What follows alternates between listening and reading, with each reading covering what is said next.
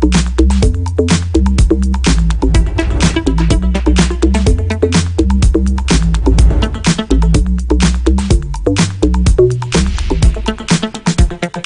dag, nieuwe YouTube Heroes. Vandaag ben ik bij Dit is Milan. Zijn quote is: Verveling is kut, ik doe er wat aan. Kijk je mee? Natuurlijk kijk ik mee en ik neem jullie mee. Let's go.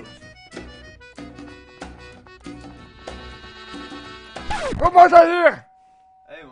Ik eh, ben hier voor Dit is Milan. Die ken ik niet. Die wil ik niet kennen. Gast. Ga weg hier. Maar Kees.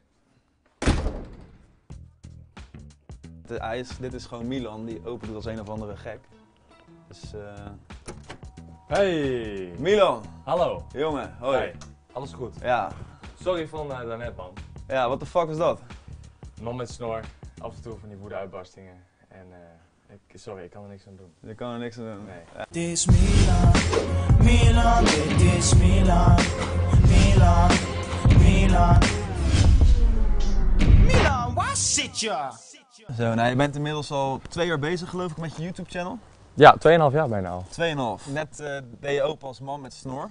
Dat was ik niet. Waar, waar heb je man met snor opgeduikeld dan? Ehm, ik ging eh, verhuizen en het was eigenlijk, eh, het was winter. Ja. En je had van allemaal van die mutsen en die waren heel erg in. En ik vond die mutsen echt zo dom. Dus ik dacht, weet je wat, ik ga gewoon die muts opdoen. En ik knoop hem vast aan mijn neus, aan mijn snor. Als een soort snor. En toen heb ik een filmpje gemaakt. eh, gewoon de camera gepakt en gewoon geïmproviseerd. En toen kwam ineens man met snor.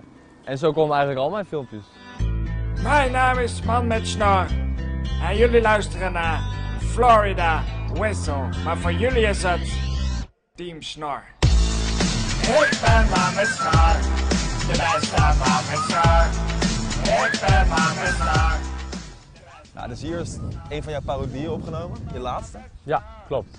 Team Snor. Voor man met snor weer dus. En dat was zijn allereerste parodie. Nou, je hebt 8 miljoen, 18 miljoen views op je channel. Je bent gewoon echt populair. Was dat ook je insteek toen je begon? Nee, ik ben echt puur begonnen voor de lol. En eh, toen ik er eigenlijk geld mee begon te verdienen, toen had ik zoiets van, hé, hey, dit, is, dit is wel heel erg makkelijk en heel erg leuk. Toen ben ik gestopt met school en toen ging het een beetje de verkeerde kant op. Wow, yo man. Er was iemand aan de deur en... Ze kwam binnen zonder kloppen. En ze vroeg zich af hoe het met je ging. Ah, ik heb iets in mijn ogen zitten man. Uit het oog, maar niet uit het hart. Ik, ik, heb het, ik heb het een tijdje moeilijk gehad, want ik, ik bedoel, ik verdiende er geld mee en toen heeft YouTube mijn eh, partnership opgezegd, dus het contract als het ware. En toen verdiende ik geen geld meer. En ehm, toen dacht ik, er moet een andere manier zijn om, om toch nog te doen wat ik wil doen. De tijd erin te steken en toch nog een beetje geld ermee te verdienen. Hoe kom je dan nu aan je geld?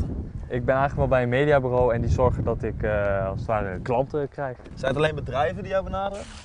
Eh, ja, het zijn bedrijven of, eh, of bekende Nederlanders bijvoorbeeld die dan wat extra promotie willen voor iets. Ik had laatst bijvoorbeeld Freek Vonk.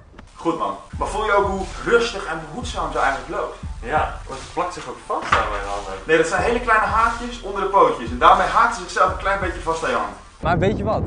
Zullen wij misschien samen een, eh, een parodie maken? Super vet. Nou, dat lijkt me echt super. Ik wilde het eigenlijk al een beetje die kant op sturen. Het lijkt me echt vet om eh, een parodie te maken. Maar je Gaan we dat doen? Kom mee. Swag. Swag.